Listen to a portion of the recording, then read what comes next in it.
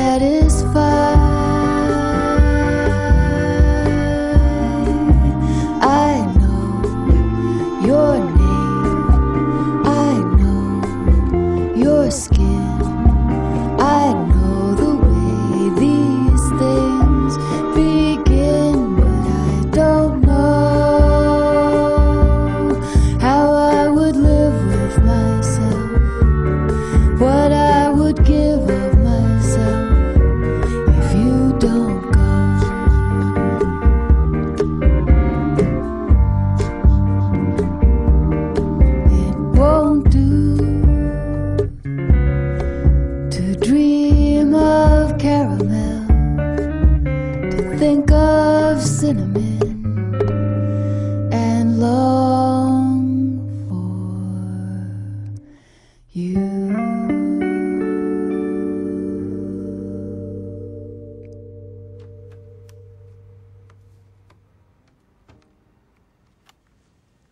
Lauren Travis. Lauren experienced something joyous, but then had it turned into something dirty by the judgment of the outside world and by her own judgment of herself. She stopped the experience out of fear and insecurity.